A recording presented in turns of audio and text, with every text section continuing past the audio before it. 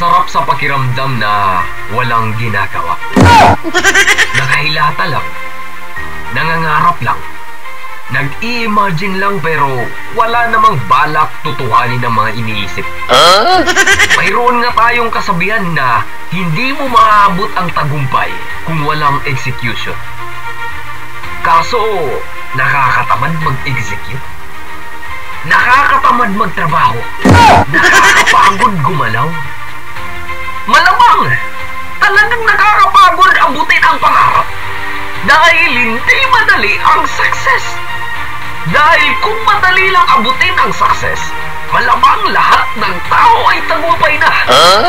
Kung patuloy kang gagawa ng mga palusot na kesyo nakakapagod, kaya hindi ka nakakausa sa mga ideas mo, kaya ka laging palbak sa mga iniisip mo, because you are wasting your time. Lahat naman ng gawain mahirap. Kaya nga walang produkto na mabubuo kung hindi pinaghirapan. Walang bundok na maaakyat kung hindi ka nagpagod upang akyatin ito. Walang isang mararating kung magte-teleport ka sa imagination mo dahil hindi naman totoo ang teleportation. Kailangan mong bumiyahe, sumakay ng sasakyang pandagat upang marating ang kabilang isla. Kaya kung meron kang mga ideas, mga bagay na gusto mong gawin para sa iyong pangarap, para sa iyong ikakatagumpay, simulan mo na itong gawin. Huwag puro ideas lang. Huwag puro attract lang sa mga bagay-bagay. Kailangan mo din mag-execute. Galaw-galaw din.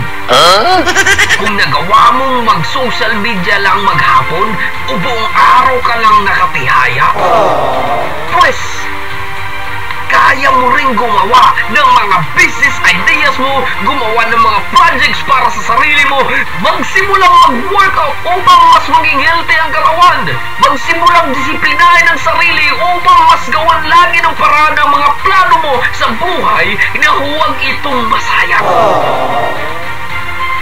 Mas dagdagan mo pang palawakin ang mga ideas mo, mga plano mo, hanggang sa makagawa ka ng something unique para sa buong mundo. Yung hindi gaya-gaya, yung siguradong mas magbibigay sa iyo ng pag-angat. Pag-unlad, sigurado kung may mga plano ka na sa buhay, hindi mo lang nagagawa dahil sa tinatamad ka. Lumang palusot. Kailangan mo lang dyan ay disiplina. Disiplina na lagi mong pipiliing gawin kung ano yung tama, kung ano yung makakabuti sa'yo, kung ano yung mga bagay na alam mong makakatulong sa'yo. Kaya kung gusto mong abutin ang mga pangarap mo, simulan mo na ang gawin ang mga plano mo.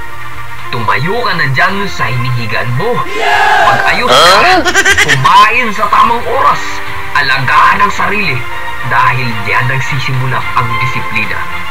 Pakonti-konting paraan ng paghimok sa sarili. Konti lang ang oras, kaibigan. Hanapin mo direksyon mo sa buhay, yung purpose mo sa mundong ito na binigay ni Lord. Huwag mo itong sayangin ng dahil lang sa tinatamad ka.